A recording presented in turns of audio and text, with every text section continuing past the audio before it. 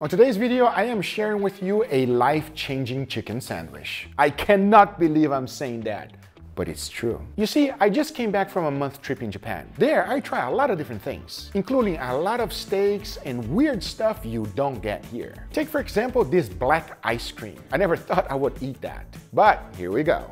My black ice cream is melting, everybody. mm. Oh. It's vanilla ice cream. Then I tried this weird mochi. You know, normally whenever you eat mochi here in the United States, it's white, chewy, delicious. This one was different. It was deep fried mochi. Quite doughy, slightly sweet.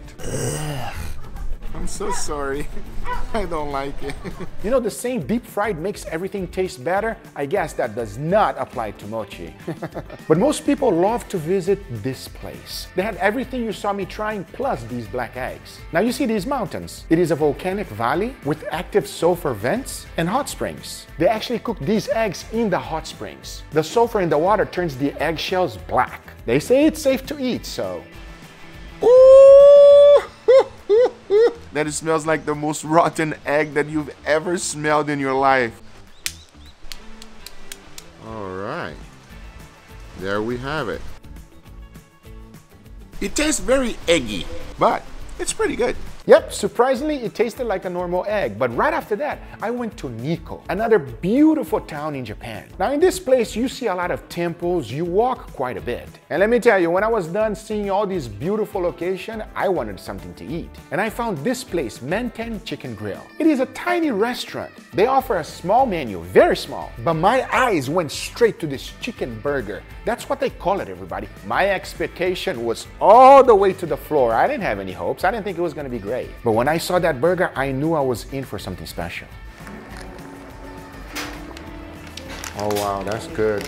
That's very good. It was an amazing experience. Then I asked the chef how it was made. And today I'm gonna share this recipe that changed my life with you. Enough talking, let's go. And everything starts off with chicken. As you can clearly see, I'm using chicken thighs. Now since this is a sandwich, it must be boneless. But if you buy bone-in, it will always be cheaper. And the best part is that you can keep as much fat as you want. Because once they're fully trimmed, the next step is even easier. And that is to throw it in the bag and cook it sous vide. Now the key here is the temperature and time. I'll be cooking it at at 149 degrees Fahrenheit for 2 hours. Because once it was fully cooked, you want to immediately throw it in an ice bath. We want to stop the cooling process and chill it out as fast as possible. Now here's the best part, and it is a restaurant trick that most people use. You can store it on your refrigerator for up to a week. Oh yes, and that is exactly what they did there in the restaurant. Now once it's time to cook, all you gotta do is remove it from the bag, pat it dry really nicely, and it is now ready to be finished. But there's one key thing that we still need, and that would be a sauce. This sauce is where everything changes this chicken. And the best part is that you can make this one ahead of time. So into a pan, you want to throw some mirin followed by brown sugar. Stir everything up until the brown sugar is completely dissolved. Then you want to add some sake followed by soy sauce, garlic, scallions, ginger, black peppercorn, and to finish it, some cherry vinegar. Now you want to stir everything together and let it reduce. You want to make sure that the sauce gets a nice coating on the chicken and it sticks. Once you're happy with the consistency, you want to go ahead and strain everything everything out, and there you have it. This sauce is everything. Absolutely delicious. And as you can clearly see, it will stick to the chicken with no problem. One other thing that this sandwich had was this sauce right here. And if I'm being completely honest, even though this one adds something to it, if you want to leave it out, you can. But if you want to have the full experience, here's how to make it. Into a bowl, you want to throw in some sushi rice vinegar, followed by brown sugar, sesame oil, soy sauce, sesame seeds, diced ginger, grated onions. To finish it off, salt and black pepper to taste. Now you want to mix everything everything together, and there's your sauce. Now in order to see how this chicken sandwich that changed my life stacks up, I'm going to be comparing it to a very popular chicken sandwich. Yes, Chick-fil-A. A lot of people love this grilled chicken sandwich, so let's see how mine will stack up. Because the next step is the most important. You definitely want to make sure you toast your buns. I'm using brioche buns. Get a nice little char on it. Then to cook the chicken, it's quite simple. You first started by dunking it in the sauce. Then you want to immediately go into the grill. You don't want the grill too hot. You're looking for two things. Caramelize the sauce, warm up the chicken, and get a nice charcoal flavor. Those three combinations is the key why this chicken sandwich is so good. I'm telling you friends. And as you're cooking it, dunk it in the sauce at least three times. The caramelization and smokiness is what makes this chicken amazing. As once it's done and you're happy with the color, the only thing left to do is to build. Add that ginger sauce, followed by some lettuce, a generous amount of the chicken, a slice of tomato, a tiny bit of white onions, and finish it off with the top bun. Noticed one thing. I did not season the tomatoes. I did not season the onions. That's how they do it over there. Because everything is all about the chicken. I'm telling you friends, this is the greatest chicken sandwich I've ever had in my life. Now I know you might be skeptical because I'm saying it. Well, let's see what everyone else thinks. Because now I say, it is enough talking and it is time to eat.